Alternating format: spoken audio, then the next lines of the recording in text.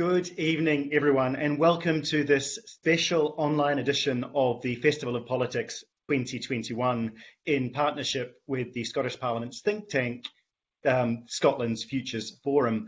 I'm Bruce Adamson. I'm the Children and Young People's Commissioner Scotland, and I've also had the privilege of being the chair of the European Network of Ombudspersons for Children this year. And this afternoon's panel is on Can Education Build a Sustainable Society, um, held in partnership with, with my office. And we are delighted that so many of you have been able to join us on this Friday evening, and we have an incredible panel of speakers. Um, but your involvement is really important as well. So join in online. Um, we want to see your questions and your comments in the chat you're very much part of the discussion along with our expert speakers. And again, two very important people who are joining us are our two BSL interpreters, Heather and Bruce. They'll be helping us all make sure that we can communicate effectively. So thank you so much to them in advance. Um, so how important is quality education for children and, and adults in helping us make informed choices on the environmental impact of our actions and choices. Um, how effective is education that's currently available? And what we, can we learn from other nations and other places? This panel aims to address some of these questions and all of yours in the next 60 minutes, so it's going to be an exciting session. Um, get involved in the chat. When you do, um, if you could put in um, where you are, um, whether that's in Scotland or somewhere else, and also stating your name as well, so we get a good sense of, of, of where you're joining us from. And I'm exceptionally excited to be introducing you to our four amazing panelists. Um, we have Emily Farquhar, who is an operational volunteer for 2050 Climate Group. And she also acts as the 2016 volunteer COP, as the COP26, need to get that right, uh, volunteer ambassador for Edinburgh and the Lothians. So you're very welcome, Emily. We also have Liam Fowley, MSYP, who is the current Vice Chair of the Scottish Youth Parliament.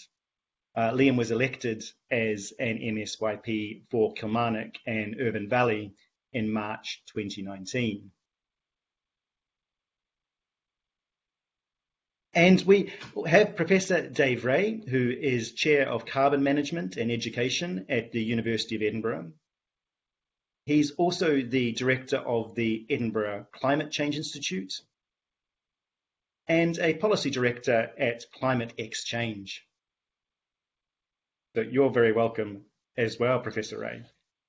Um, and the final member of our panel is Professor Pete Higgins, who is a professor of outdoor environmental and sustainability education at the University of Edinburgh and director of learning for Sustainability Scotland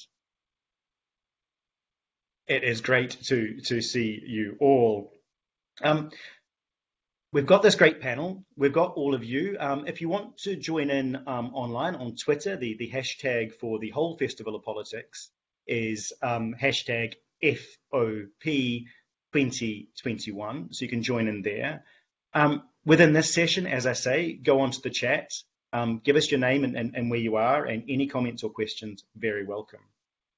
So Education and sustainability are closely linked in human rights terms. I've got the best job in the world as Children's Commissioner because it's my job to promote and safeguard the rights of children and young people across Scotland. And in terms of human rights to education, the purpose of education is to develop all children and young people to their fullest potential.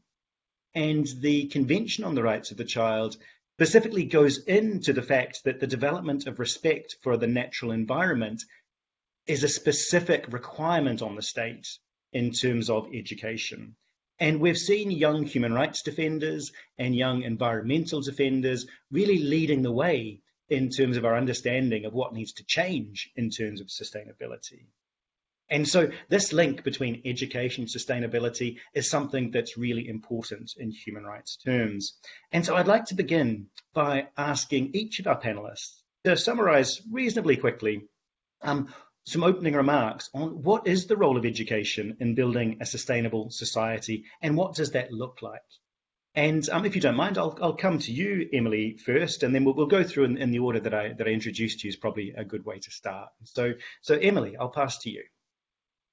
Yeah, thanks, Bruce. Um, for me, the main purpose of education is to provide people with the knowledge, the skills, the values, and the morals they need to integrate into and contribute positively to society.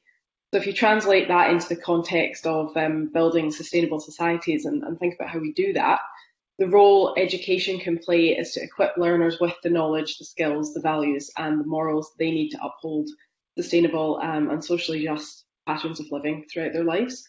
Um, what that looks like for me in practice is schools and, and other education institutions across the board adopting a learning for sustainability approach um, to their teaching, which incorporates global citizenship, outdoor learning, and um, sustainable development education as well, ultimately with the aim of, of producing well-rounded people who sort of understand and appreciate their, their environment, their culture and their heritage, and who also have quite a strong connection to nature as well. Um, I think if we can achieve, achieve this across the whole Scotland and, and ideally across you know the whole world, uh, the result will be a population who who understand the significance of their choices now and in the future um, as well, which will yeah vastly reduce the risk of irreversible anthropological climate change and, and various social injustices as well.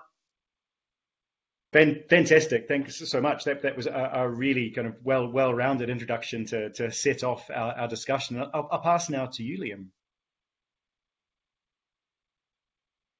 Thanks. Yeah, I think uh, really important would be the, my automatic response there. Um, we've we've obviously spoken with a lot of young people. It's all about our organisation. We're here to represent young people. I, and overwhelmingly, young people say that it's individuals that have the responsibility when it comes to tackling climate change, but they need to be supported in doing so. Uh, we can't just all be climate experts because it is a very complex subject, and young people themselves will, will admit that the complex. I'll admit that the the complexities of climate change are, are, vast. So, being supported into knowing how to tackle climate change uh, is, is a really important one. The Learning for Sustainability Action Plan has obviously been uh, published and things like that, and that's a really important element there. But it's about addressing the needs of young people there as well, because the, the learning that an adult may have to do who's gone through most of their life is going to be vastly different to that of someone who's in secondary school. Uh, in schools themselves, there needs to be more of a, a well-rounded approach. All subject areas should have a responsibility there to, to discuss sustainability and climate change because they're all interlinked no matter what classroom you go into. So it is a really important element. And ultimately, young people need to be supported in, in learning how to live sustainably. Brilliant. Thank, thanks, Liam. And, and again, coming through strongly already, this idea that, that everything's interlinked and, and shouldn't be kind of pigeonholed. And so, uh, passing now to you, Professor Raine. Thanks, Bruce. Yeah, and all the best things have, have been said already. Paul Pete's got to come after after me, but uh, I haven't got a huge amount to add to what um, has already been said, other than admitting my own bias as, as someone who loves teaching and as an educator. You know, it's fundamental in terms of a sustainable future for our planet, not just the people on it, but our natural ecosystems as well. Education is at the heart of all the sustainable development goals. Um, you know, if we look at the challenges that we faced throughout human history, we've got through them well where we've had good information and, and, good education, and we've really faltered where we haven't had that. And the pandemic is an ongoing example of, of successes and failures. I think what it looks like for me is you've talked to, we've talked about integrating things. It's really that systems thinking, and this is at every every level um, in terms of uh, the education, you know, the life lifelong education. It's being able to understand the links between what you do and the implications of that, how every everything we do in our lives has a um, is linked to what everyone else is doing and to those natural ecosystems. And so that systems thinking, I think, is, is at the heart of it for me in terms of realizing that sustainability uh, through education. Brilliant. Thanks. Thanks so much. And I think again that link to the wider the Sustainable Development Goals, the wider human rights framework is is really important as as well. And so Um, and education is often described as a human rights multiplier, which I think is really important that, that education sitting right at the heart of all of this. And yeah, the, the, the tough job now, Professor Higgins, is to come to come last in a, in a, panel of four. I do promise I'll switch the order around as we go, so you, you won't always be following, but I know you'll have some, some great things to say anyway. I, I don't mind at all. I could just say what they said and, and finish there. But um, yeah, I, I, will say a few things. Um, there's a quote I'm I'm very fond of, and it, and it goes a bit like this: The role of education is to form the citizen. The citizen is a person who, if needs be, can refound civilization.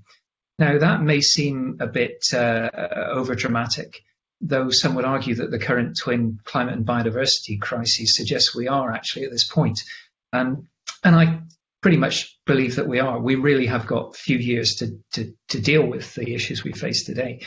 But however, even if we're not, the idea of the ultimate purpose of education being to help civilization move forward, respectful of current and future generations and of global biodiversity, upon which we utterly depend, um, seems to me to be entirely logical and moral, and actually a beautiful thought.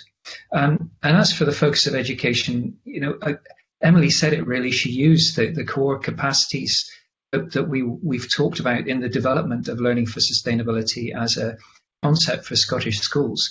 And I've really nothing much more to add other than the, the idea that we, we think of ourselves as um, respectful of the natural world rather than just users um, or even conservers uh, or managers. We, we need to develop that notion of respect um, with regard to the natural world as well as with all others on this planet. Thanks, Bruce. Brilliant. Brilliant. Th- th- thank you. And I think I think everyone watching will, will agree that's a fantastic starting point for, for us all to, to build on. And so let's move into some some questions now. There's there's a few that, that I've got here, and I can see people in the chat are already starting to, to engage as well. And so my, my first question would be around the quality of education. So how important is quality education for children and young people, helping us all make informed choices about our own impact, but also perhaps reflecting on how we engage with systemic issues and engaging with engaging with governments as well. And so, how important is the quality of education there? Um, Emily, do you want to go? Do you want to go first again? Yeah, of course, no problem. Um, I think all of all the investments needed to support sustainable development, few are more important than ensuring everybody gets a quality education. Um, I think quality education so, an education that prioritises teaching equality, um, skills development, building emotional intelligence, uh, provides adequate infrastructure for learning and um, learning equipment, as well as prioritising knowledge sharing, of course, is um, really important because I really do believe that a person can't make a proper choice without the proper information and the proper perspective. Um, so making sure that we provide everybody, both adults and children, and you know all sorts of learners, with a, a quality education is vital to ensuring people are able to make informed decisions on the impacts of their actions.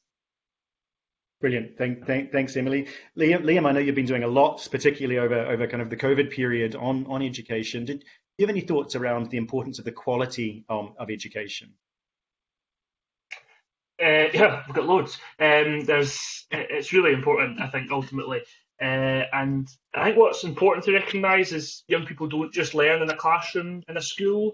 There's other forms of, of learning there, informal curriculum, for example, and youth work all play a really important part uh, in supporting a young person's development and learning experience, especially when it comes to sustainability.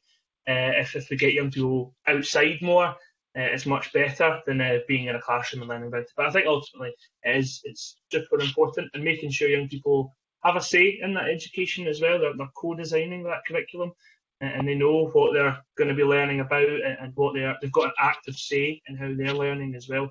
I think are all really important parts because young people very much have to be on this journey, and obviously young people are very much at the forefront of this as well. Uh, young people have to be brought along as uh, with us on this journey, not be told what to do uh, when it comes to this. Because as Emily so rightly said, that you, you can't make informed action if, if you don't have that learning base uh, beneath you. Yeah, I think that, that's a hugely important point. And again, that point about participation and making sure that, that children and young people of all ages are actually actively involved in, in designing and um, and being part of, of how their education is delivered inside and outside the, the classroom. And so, um, oh, good opportunity to come to you to you, Dave, here in terms of in terms of what's the importance of the quality of education. What what makes quality education? Yeah, so all the things that have been talked about, but one of the key things is investment and support in teachers, and that is something which is is obviously fundamental. You would think it would be a given, um, but actually, in terms of where we need to get to in terms of sustainability and climate education, that just won't come out of the ether. Actually, that means you know um, putting the time into teacher training, into making sure they've got the time and the resources. One of the things, so I mainly work on climate change. One of the things there is there's loads of resources out there on climate change, but the quality question is a really good one because actually not all of those resources might be as high quality as others and as an educator, you know, having help in terms of that quality assessment, what's useful, making sure it fits with what you've got to actually deliver in the classroom. That's a vital part of where where we're starting to get to, but we need to, I think, do better on that so that when you're in front of a, a class, whether it's out on a field trip or, or in a in a physical class or online, you know, you you feel confident to be able to deliver that education in a high quality way. Absolutely, and I think I think that's that really important part about supporting the system and where the support needs to be and the duty on the state to to provide that. And, and Pete, could I bring you in here on that on that question around the importance of quality, but also maybe get any of your reflections on the quality and effectiveness of what's currently available in Scotland? Yes, uh, uh, thanks, Bruce. Uh, I think the, the notion of quality always um, tickles me really because uh, it, with regard to education, what, why would you want anything else? Um, of course, education has to be of quality. It has to be of high quality.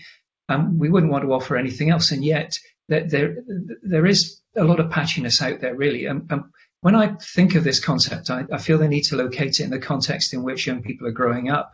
And the, the world we, we face now is a world of increasing complexity, the issues we face are interdisciplinary, involve social and scientific dimensions. So quality education has to address this complexity, interdisciplinarity, excuse me, interdisciplinarity, and the systemic approach that Dave mentioned earlier, the systems thinking approach. Um, I, I, work quite a lot with teachers, uh, both pre-service and in-service, and, and whenever I, I, talk to groups of teachers, I say to them at the end, you know, remember, you are the most important people in the world. Really, they are, because you know, you might think that, you know, healthcare professionals or others are, are, are the most important people. They are if you, if you need healthcare. But of course, where did they get their initial education? They got it through a school system. And that is why school systems across the nation have to be equitable. They have to make sure that we can allow all people who need education into them without any form of prejudice or, um, or, or privilege, really. So um, I, I, hope that's that's answered enough of your question for now, Bruce, before um, I start rattling on about all sorts of other things. I think we could, we could all we could all listen to you all night. So please don't don't apologise about about rattling on. But um, I, I, wonder whether the panelists have got any reflections on maybe what Scotland's doing well in terms of um, in terms of education and, and what maybe could we learn from other countries and is, and is there any examples that anyone's got about things that maybe other countries are doing that we could learn from or things that Scotland's doing really well that, that perhaps we should be exporting to, to other places as well so that that comparative um, value given that this is a a global challenge that, that we're facing and the, the real value of learning from others who wants to come and I can I can the wonders of technology allows me to see you all, even though we're not in the same place. So, so if anyone wants to kind of just just throw a hands up, otherwise I'll I'll um, I'll pick you. I don't know, Dave, did you want to come in there, or and then Pete, I see you there. Yeah, so I mean, it, I think there's a, there's a lot of good practice around for, through the the climate change lens um, specifically. I mean, we've had for the UK, the net zero strategy came out this week, which is a massive document, which I don't think anyone's read apart from the people who wrote it. Um, but in there, if you go to kind of page 200 and something, there's a commitment there for the UK to bring forward a strategy that aligns um, children's services, education at all levels with the net zero transition. And that was good to see. We've already had those conversations in Scotland as well, and, and um, I'd argue we're we're ahead of the curve in terms of knowing where those gaps are like we talked about in terms of support for teachers, uh, the resources, etc. Looking overseas, one of the ones that I, I look at, at, with envy is France. They have an office for climate education there, which is um, uh, one of the UNESCO centres. Um, and since 2005, they've had their environmental education kind of mandate across their education system. And you kind of, you can see the benefit of that in conversations kind of you know some of those who studied in 2005 are now you know teaching or you know or, or working in universities um, and just the the kind of the understanding of the issues we're facing on sustainability and climate re really has been mainstreamed um, so there are exemplars they would say they're not getting it perfect and that's that's definitely true um, but i think they can learn from us in some respects in terms of how we've particularly led by people like Pete, how sustainability has become, you know, something which which has to be delivered um, effectively within our education system. It'd be great if that happened actually down south as well. Um, but I think we're we're at that stage where everyone knows we need to do this and do it better, um, but no one's doing it perfectly yet. Okay, so it's a good answer, very nice and diplomatic as well. Which, um, and so I'll, I'll, come come to you, Pete. But also, I'm going to add into the question something that's come in from the chat, which I'm starting to, to see now from from Bob Hill in Montrose, who, who's asked about how we add this into an already crowded curriculum. So so is there an issue that that um, something would have to come out of the curriculum in order for us to, to add this in? Um, and and how does the, how does it, how does it all fit together, Pete? Right. Well, I think the first thing to say is that um, this is not my estimation, but um, Scotland is widely regarded as a world leader in learning for sustainability. And, and actually, uh, when Emily made her first statement, some of the words she was using referred very closely to the, the, the, terminology used in learning for sustainability. This was a, an initiative of the Scottish Government that started in 2011 um, and we have now uh, learning for sustainability as an entitlement of all learners and a professional requirement of all teachers. Now, this is remarkable. It doesn't really exist anywhere else. So, all credit to the Scottish Government for um, initiating that and, and allowing us to work on it to develop this. It's also linked very closely with the UN Sustainable Development Goals. Um, now, that, that isn't to say others haven't been doing uh, really good work out there. And it isn't to say that everything's perfect here. Uh, the current situation is quite patchy, some outstanding practice out there, and, and other places where people don't really seem to see it as a priority. So there's there's elements of this that I think we can really improve. In terms of other nations, I would say, you know, Finland is is of course a world leader in education, and even though that's the case, it recently uh, revised its whole education system to place sustainability at its core. Uh, closer to home, Wales, of course, has made a great commitment with its Future Generations Act. Um, and there are other countries in a recent OECD review, like um, Canada and Singapore, that did very well in terms of global competency. So there's a, there's a lot of good stuff out there. And we in Scotland are actually quite um, we're quite thoughtful in our approach to uh, how we argue that we've got a, a, good approach here. But there are things that are quite unique. For example, both Liam and Emily referred to the importance of outdoor learning as part of our concept of learning for sustainability. And that engagement with the natural world is actually pretty much unique um, and very powerful. The research evidence is clear. Um, in terms of that really um, uh, lovely question that uh, is is very very difficult to answer. The curriculum is crowded, but um, what what I think we need to think much more clearly about is going back to the capacities of learners to deal with complex interdisciplinary issues, particularly through the systems thinking approach, and how then the subject disciplines become the servants of the core questions. And there has to be some part of the education system that allows that to happen. And that's precisely what Finland's done with its um, with its approach to the curriculum. It said, yeah, we're going to teach subjects, but actually we're going to teach these partially at least through um, this kind of systems thinking approach. They call it phenomenal learning in uh, or phenomenon learning in Finland. Now we have the opportunity to do this at the moment because the SQA is being reviewed, revised, and who knows what's going to come of that.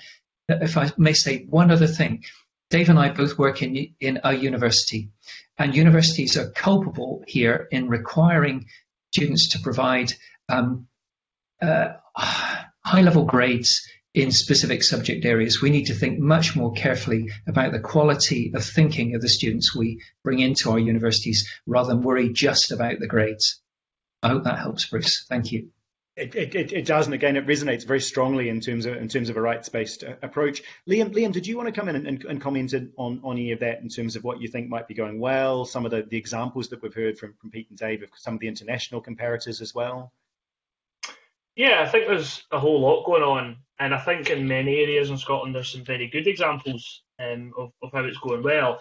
But I mean that brings in the issue that it's not consistent. But I think individually it's going well. Um, if I take it back to even training teachers, uh, I'm a student teacher, and throughout a lot of my learning, there's been discussion on how to integrate learning uh, for sustainability, things like that, and climate change. Uh, just you know, mentioning it now and then, uh, relating it back on certain subject matters, but also how to start thinking about, uh, uh, as Pete was saying, an interdisciplinary approach, also a whole school approach, getting young people involved and making their own decisions in the school and how can the school start acting more sustainably making young people again as i said before bringing young people on the journey with uh, the, the, the adults and the teachers and things like that to, to get them thinking about how we are making sustainable choices uh, in the school as well. And we've got things like park and stride that are starting to come in as well and that's about you know walking to school and things like that. And it's not just about walking to school. We're going to learn about why we have to walk to school what's it doing how we're helping and things like that uh, and I think there's loads of good examples across the whole of Scotland with that. I think what we now have to start working on is, is joining the dots and making it more uh, joined up and, and, consistent across across the country. So all young people are getting a, a very similar uh, learning experience when it comes to, especially when it comes to climate change.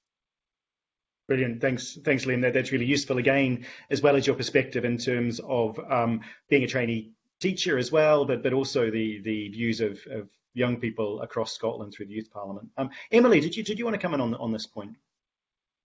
Yeah, of course. I think because I'm not working directly in education, um, I'm not a teacher. Uh, I think my impressions of the quality and effectiveness of the education currently in Scotland won't be as uh, maybe up to date as the other panelists. Um, but I do feel I might be able to sort of provide a bit of an insight on, on, on my opinion because I graduated from secondary school in 2016, so five years ago. Um, and my experience of that going through uh, primary and secondary school, I don't remember getting a lot of formal um, sustainable development education, particularly. Um, there was not very many discussions about uh, anything to do with sustainability um, at all. However, what I do remember is a lot of um, outdoor education. That was quite a strong part of my learning, and I'm, I'm not sure if that was just uh, my schools or if you know it has been mentioned that you know Scotland does have quite a, a good focus on outdoor education, and it's possible that that was what contributed to that. But I do feel um, that was instrumental in developing my personal connection with nature um, and I think that's a, a, testament to the effectiveness of outdoor education in, in promoting sustainable behaviours and also the importance of prioritising outdoor education. So, um, you know, just to take this opportunity to say that I would urge all educators to, to take that into account when developing their curriculum and, and really continue to build that into the curriculum in Scotland because I think it's I think it's really really important.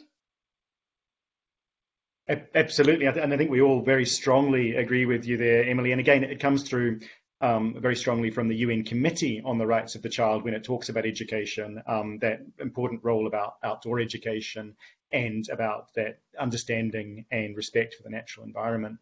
Um, we're also seeing a, a lot of good um, good comments and questions coming through on the chat. So, so thanks all for that. And I'm going to weave a couple of those in now, and I'll come back to some of the other questions later. So, if you put in a question and I haven't asked it yet, we will we will come come back to those. But um, I was particularly interested in some of the stuff that, that you were saying um, earlier, Pete, and others were saying around learning for sustainability and how it infuses the whole of Scottish society, building our capacity our capacity to contribute the sustainability at the local, national, and the global level.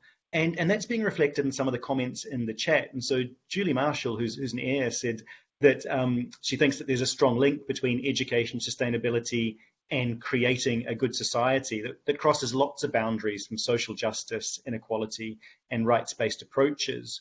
Um, and uh, Mark Langdon added in um, uh, some some critical thought around saying is there is there a risk that, that we're focusing too much on the answers to climate justice lying in individual actions and he suggests that might be misinformed when actually our focus should be on systemic um, and broader issues and points to, to, capitalism and colonialism being significant drivers um, of the issues that, that we're facing at, at the moment. Um, and also linked back to, to, a question from Julie uh, Marshall, who focused back on, on teachers and the thought that how do we support teachers um, and more broadly, in fact, she's saying. So the first teachers that children have are their parents, families, and communities. This, it takes a village to to raise a child, and so um, outside of the formal education system as well. So there's a lot coming in, which I think links very strongly with with with what you've all been saying. But um, perhaps Pete, I'll, I'll, I'll throw back to you there then, because I, I think this links very strongly with what you were talking about in terms of the plan that we've got in Scotland for learning for sustainability um, and bringing all of those different aspects together. So I'll, I'll, pass back to you, Pete. Sorry, that's a bit of a rambling um, uh, collection of ideas, but but hope, hopefully you'll you'll take some inspiration from it. I'll, I'll try, and there, there there there are a number of concepts in there that I, would like to to refer to, but uh, and try not to take too long about it. I mean, I, I think the first thing is to say that um, Scotland's got a really long tradition going right back for basically the past hundred years um, in terms of trying to build sustainability into education, and and that's grown over the the, the, last 20 years in particular uh, to the point that we are just now, and you know it's a big thing to do to try to build uh, sustainability in at that level and at that scale. And so we're, we're all doing what we can, but it, we're we're on that journey now. How, how's it going? Well, I, I think that, that process has been going quite well. But one of the things that's really helped has been the Scottish Government's commitment to the UN Sustainable Development Goals, which uh, the First Minister signed up to the minute they were published, and then to build these into the National Performance Framework. So, in terms of what we're hoping for our society to become, all you need to do is look at the picture of the National Performance Framework and you see all the same colours as the SDGs. But actually, that needs action in each of these and in particular, it needs these to be inter- integrated together through policy. Um, and it's very easy to say, oh, well, this is the job of education without realizing it's also the job of health. It's also the job of environment. It's also the job of agriculture, forestries, fisheries and food. So we need to be sure that our national policies are joined up. And if we do so, I think we'll get multiple benefits that will infuse the whole of society. Um, in terms of the, the, the, the issue of the individual having too much weight on their shoulders, I feel that very strongly. It's a point that Mark made and, and um, you, you referred to there, Bruce. It, it's one thing for educators to help us help people to understand that our actions can can have a significant consequence for other parts of the world as well as here at some time in the future. It is another thing entirely to uh, encourage people to think that means I need to know how to vote. That means I need to know what what politicians are saying. That means I need to be able to interrogate their answers, their questions, um, interrogate their views, and question them, um, and to be a really thinking, critically analysing individual who is is suspicious, really, uh, of of the arguments that people put forward until you're convinced. So it's that restlessness that I want to see in, in all of us whenever we see a, a politician promoting promoting one thing or another, or indeed, you know, um, we, we, are exposed to fake news or whatever it might be. It's that critical thinking that will allow us to get there. And I want to see Scottish Government policy built around those sorts of values within the uh, National Performance Framework and, it, and its policy um, infrastructure, really. So it was a rambling set of questions and a rambling set of answers. I'm sorry, Bruce. No, please don't apologise. I, I, think I think I think it was that was beautifully answered, and I, and I think particularly the link to um, the fact that Scotland was one of the first places to sign up to the SDGs, and then took the further step of of embedding within the national performance framework. And we've also seen more recent commitments to the incorporation of of rights, and so we've already got legislation um, which is needing amendment on the incorporation of the United Nations Convention on the Rights of the Child, which, has been interpreted to to bring in a lot of concepts around um, respect for the natural environment and sustainability.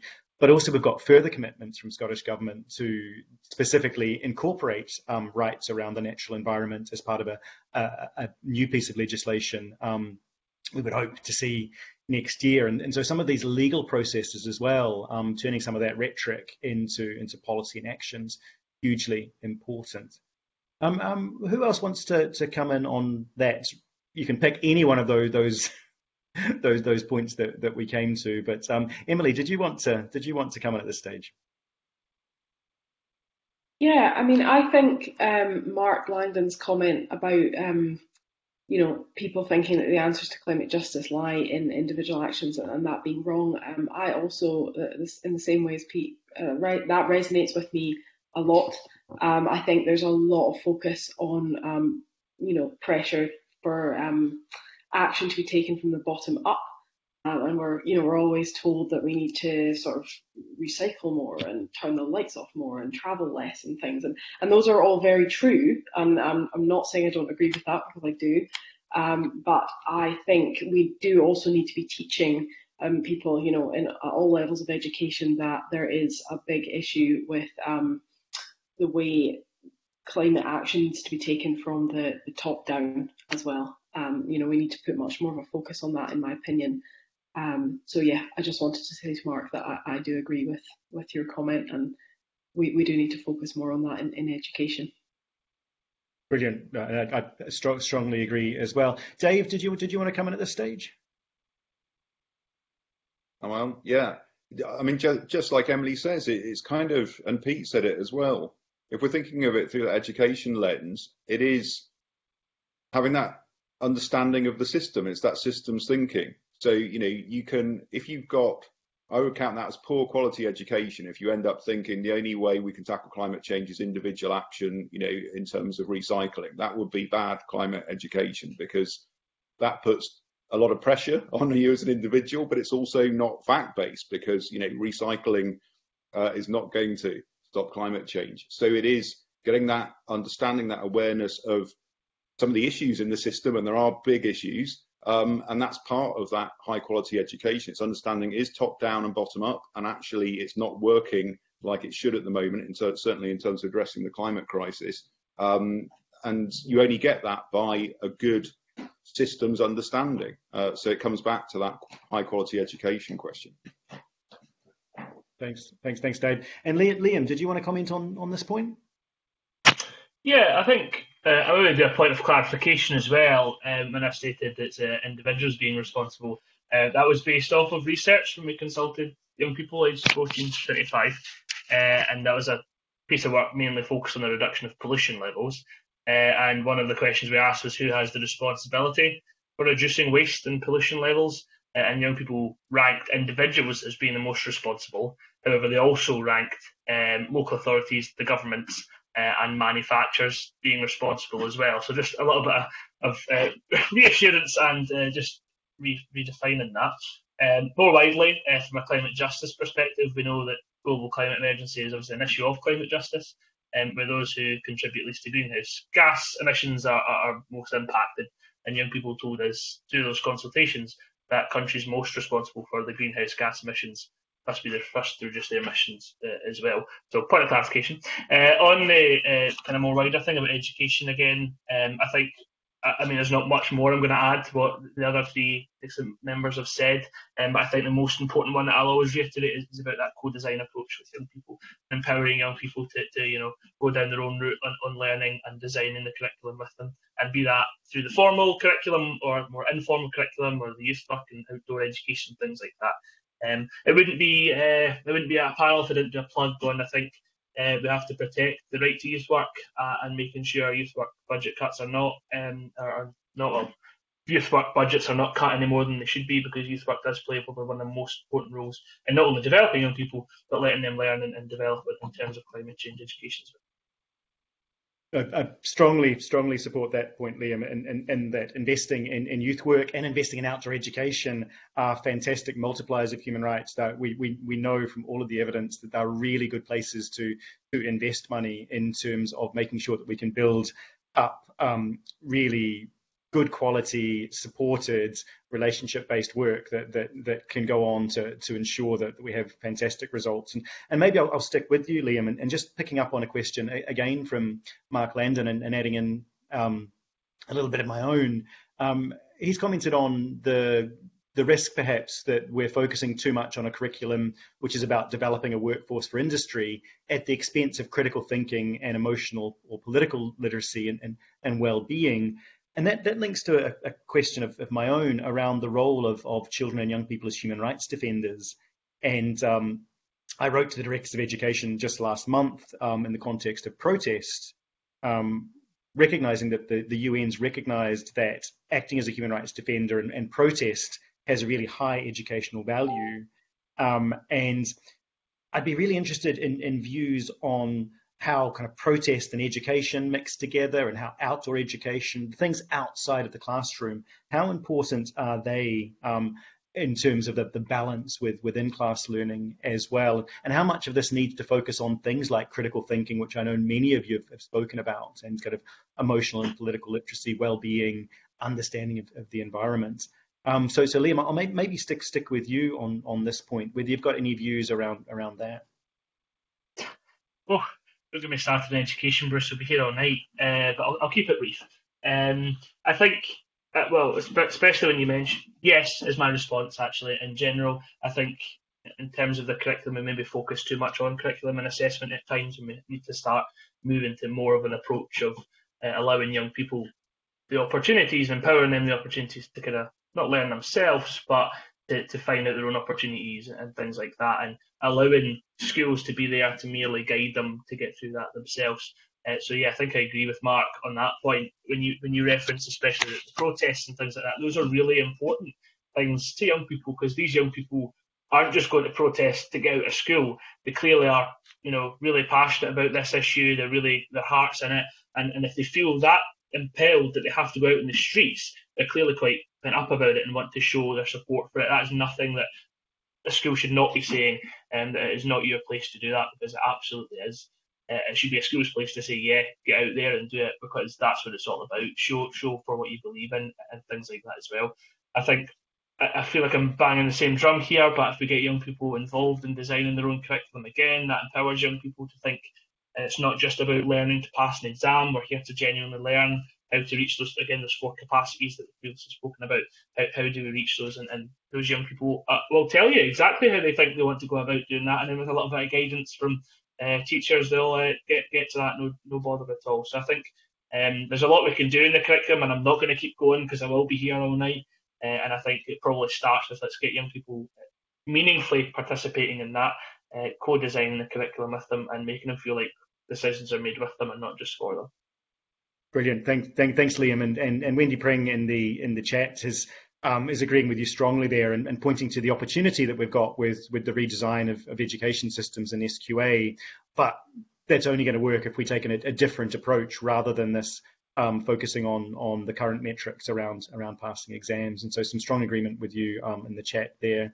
Um, Emily, did you did you want to comment on, on this point because you've you've mentioned already a bit around ed, outdoor education and and I know with with your role at, at COP26 and um, and the, the work that you're doing that, that this is something that you're quite passionate about as well. Yeah, so I think it's really important. I agree with everything that Liam said. Um, I think it's really, really important that we have uh, as much opportunity as possible for children to um, engage, like I said earlier, in outdoor education, but also in protests and things like that. Anything that uh, brings them out of the classroom and engaging with the real world. Um, I I feel I believe strongly in, in um, the values and the benefit, the value and the benefits to um, connecting with nature. You know, doing things like the Duke of Edinburgh Award was very beneficial for me. Um, engaging in any sort of you know beach cleans and bushcraft and all that sort of thing um, is so useful. I think it's very um, clear, always has been clear that academic teaching and academic assessments not for everybody. Um, but there's so much more to education, and um, if we focus too strongly in schools on um, getting people to sit exams and you know that very traditional style of teaching, it, it doesn't work, and you're not helping everybody to realise their full potential. So yeah, I think we need to get people uh, engaged in learning in loads of different ways until they have the opportunity themselves as a child or as a young person to to find the way of learning that the method of learning that suits them. Brilliant. Thank, thanks, Emily. And again, again, this this human rights based approach to education, I think, comes through through so strongly in all of that. Um, Dave, did you want did you want to comment on this point? Yeah, so I, I mean, I've been looking at the the chat as well, and it's it's such a we could go on all night, like you say, on this, although it is Friday. Um, but yeah, one of the points about um, this potential dichotomy between what we we want we need to see in terms of that systems thinking and uh, sustainability being embedded in terms of education, that being high quality, and a dichotomy between that and this narrative of providing the workforce for a new industrial revolution. You know, I think there's there is a danger there that actually that that new industrial revolution, the net zero or green industrial revolution, that can't happen without our education actually being a rounded one which gives that critical thinking um, kind of education, that systems thinking for um, our school leavers, for our graduates. That will actually undermine um, what industry needs. So, so that that point needs to come through. Through, I suppose we've talked quite a lot about educating our students. We've talked about training our teachers. There's there's an education job to do with policymakers still. You know, so we talked a little bit about the the patchiness of policy around the world, um, and that's and there's patchiness within our countries as well in terms of um, at a local level. So you know that is an area where I guess we also have an important role to to build their capacity to understand the importance of this. I'm going to not name the government, but on this is related to Sapphire's question about um, COP26 and some of the schools being shut, and, and that you know, that wouldn't that be ironic if that meant the schools can engage with climate change because they're not in school? But um, in discussions about green recovery with, with one government, we're talking about climate change and sustainability and what a what a crucial part that needs to play in terms of um, uh, coming back after COVID, which hopefully we will. And the pushback was that um, because children had missed so much education, we didn't have time to talk about sustainability or climate change. That would have to wait until, I don't know, five years, 10 years, whenever the pandemic's over. And that kind of understanding, um, we need to somehow address that. I know, you know, um, those conversations are hard to have sometimes, you know, speaking truth to power. And actually, our students, just like Liam was saying, probably they're doing it much better than we are. But we need to keep the pressure on there too, because, you know, they're, they're, they're kind of, they're a key enabler for this to happen, not just in a piecemeal way, but actually in a comprehensive and consistent way. Thanks, Dave. And, and that's so consistent with what I'm hearing as, as Children's Commissioner. One of the things that, that many of the children and young people I've spoken to um, are really angry about is that that the global pandemic that we've been faced with has drawn so much attention away from the very pressing issues of the climate crisis that we're in and all of the broader discussion we're having around sustainability, which was a key human rights concern prior to the pandemic um, and dropped off the radar um, in, in, a big way because of the focus on, on public health. And, and children and young people who've already been leading the way as, as young human rights defenders on this are quite rightly really concerned um, and wanting to bring back that that attention. And I think that, that that's something that's come through really consistently from from many of, of the young climate activists and young human rights defenders I've spoken to.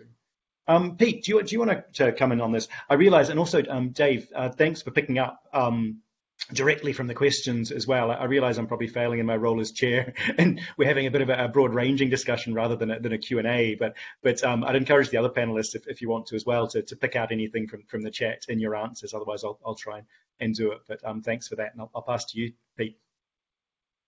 Can I first say uh, Dave's point about educating policymakers? I, I, I think some policymakers are, are, quite keen to be educated, others not again, that's where truth to power really matters. You really do need to tell them. They need to know about this stuff.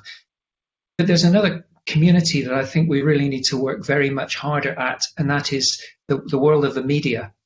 and, and they really do need education. Some of them, some of the media misinforms. And there, there's one academic who talks about the collapse of the information ecosystem, which to me really resonates with the way things are going with the media. And we do need um, all, all, of us involved here and people who think like us to think about how we might work with these communities. That's a bit of an aside, uh, though a, a, hugely important one com- in relation to what I'd like to say about young people and their uh, the protests and, and, and what goes with it. Really, I think the first thing for me is is to ask the question: When does a young person become a citizen? Um, we're fortunate in Scotland that we have got a vote uh, for young people at the age of 16. To me, that's really grown up. All countries should be doing that. But does that mean young people are not citizens before they're 16? Well, actually, uh, I, I, hear a lot more mature thinking from 14 and 15 year olds than sometimes I do from people my own age. So I think we need to be quite careful about uh, being respectful of the ages at which young people develop and, and their voice in society. Educating in the real world is is profoundly important because we teach indoors because it's convenient. I, I often um, ask education policymakers, and you know, it, it, when they say, "Why do you want kids to, edu- to to learn outdoors?" I say to them, "Well, can you explain to me why they're indoors?" And essentially, what it comes down to is it's convenient. Well, what what kind of basis is that for education? The subjects themselves that we all learn are beautiful. You know, I, I, I get all dewy-eyed about about cosmology or you know or, or bits of biochemistry or whatever it might be, uh, art, prose, poetry, music. But actually, the, the systems are beautiful too, and we need to make sure we educate around those. And and and I think finally, the the idea of protest as being an educational endeavour you know, maybe that's where the classroom is now. The, the, classroom is the protests. The classroom is wherever the young people are, not just when they're in, in school, um, th- to, to think about what they can learn from wherever they are and whomever they are with. That, for me, is, is the, the, the mark of, of truly engaging young people in recognizing the beauty of being a, a lifelong learner, which is what we have to aspire to. Thanks, Pete. And again, that, that, that's, picked, that's picked up so well, I think, on some of the things that are coming through in, in the comments. Um, Kirsten Leask was, was, talk, was talking about this kind of education as a lifelong process and how we, we engage with people. And that link to the media that, that you added in there, I think, is really important. Um, and uh, a, a, lot around how we can make sure that, that learning happens everywhere. Um, in terms of in terms of children and young people being uh, citizens or, or rights holders um, from a rights perspective. That that's from birth, and in fact, very young children are already able to to engage in a really active way in lots of these discussions. Some fantastic work by the Children's Parliament and and, and primary schools all across the countries and in, and in nurseries across the country. These discussions are happening, and so I think there's a, a lot that we can can learn there.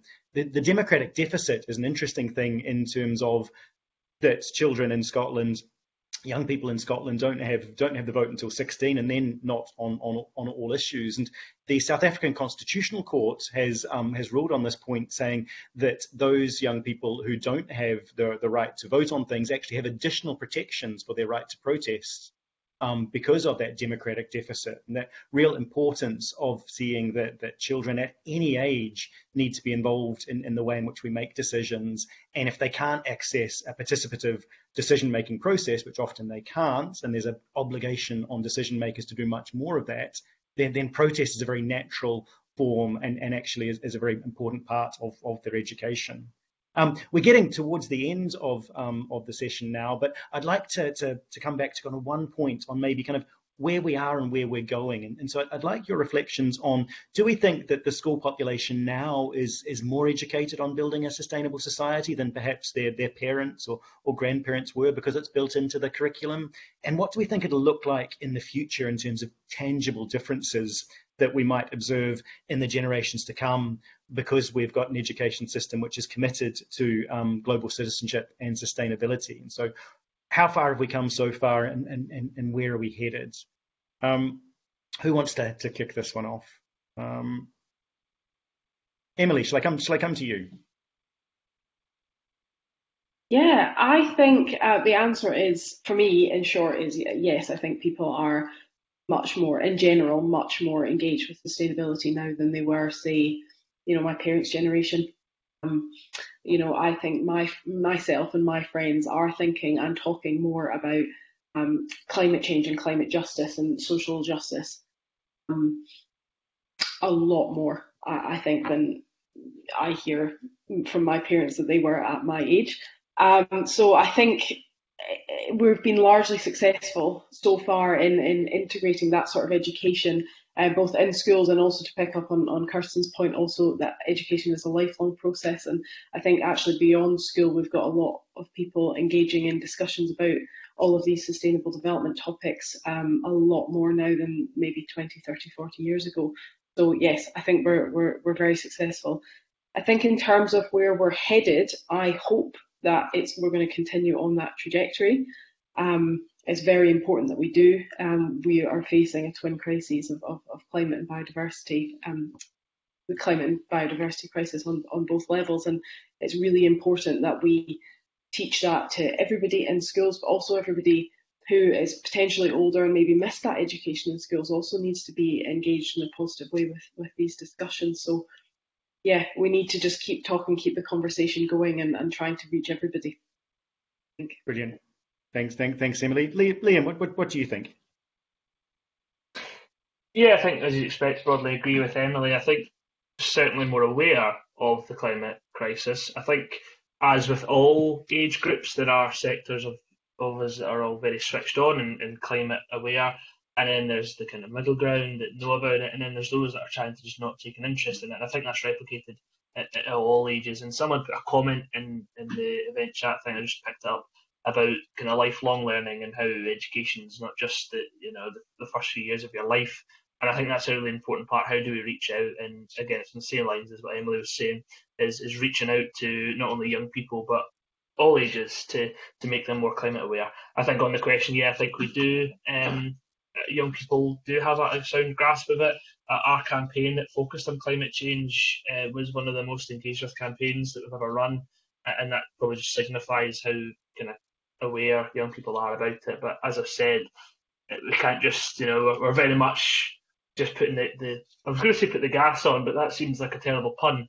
Um, we're kind of very much running running towards and, and trying to get everyone more engaged, and I think that's a really important um, part of it. But yeah, pretty, pretty much the same as Emily, to be honest. Brilliant. Thank, thank, thanks, Liam. And and Dave?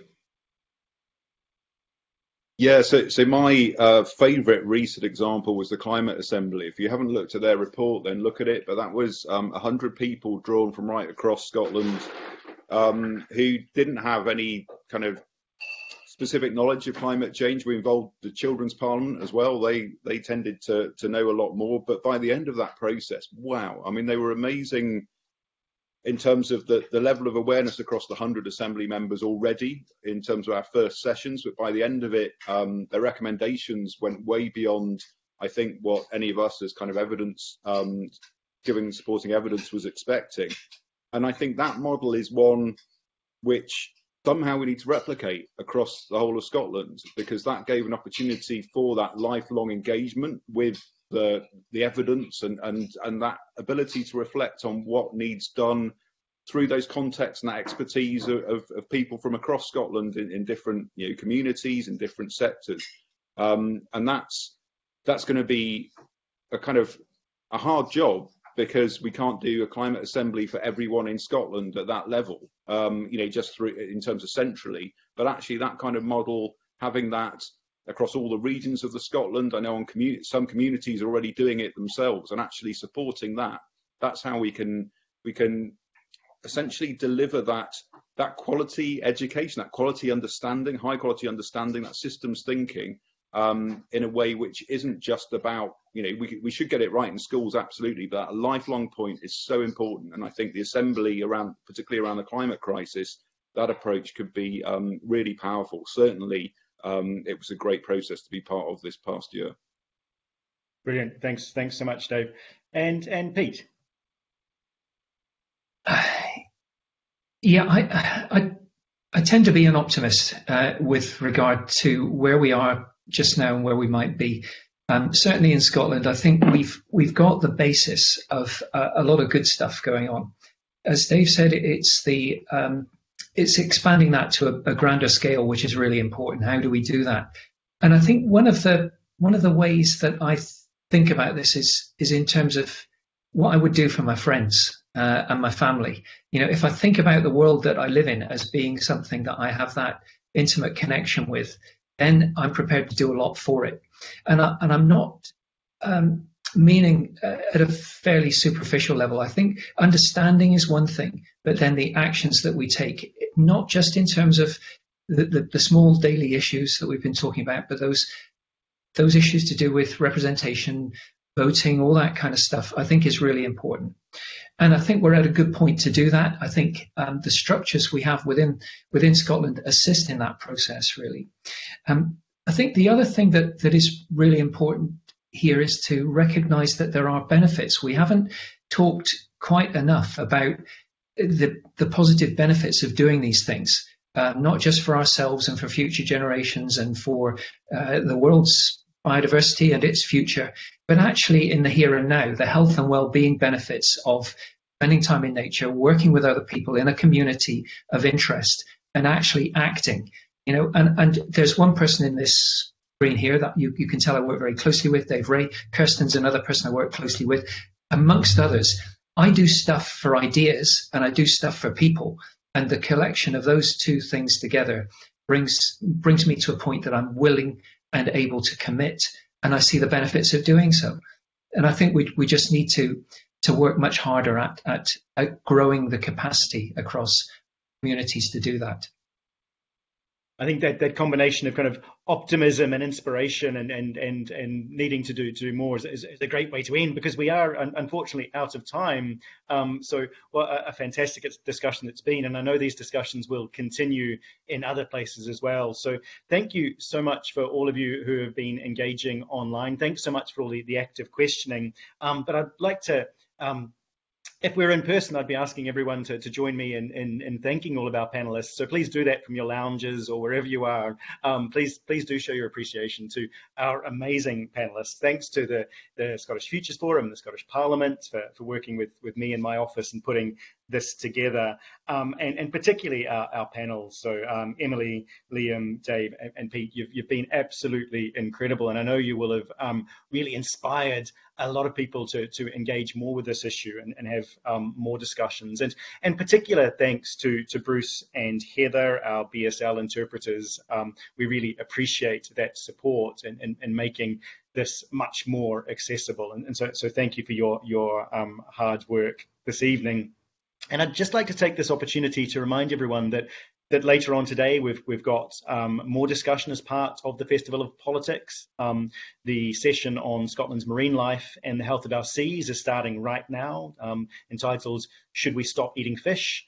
And then over the weekend, you can join a number of free online events, um, discussions on just transition, uh, fast fashion, diversity in politics, and a fantastic conversation with Professor Suzanne Simard, who's a world renowned scientist whose revolutionary work on the subterranean world of trees is the subject of our Hollywood film. And so please uh, get onto the website, enjoy um, engaging with those. And um, please th- join me in once again thanking Pete, Dave, Liam, and Emily for their fantastic contributions today. Um, please continue engaging with this conversation and have a good evening and have a good weekend all.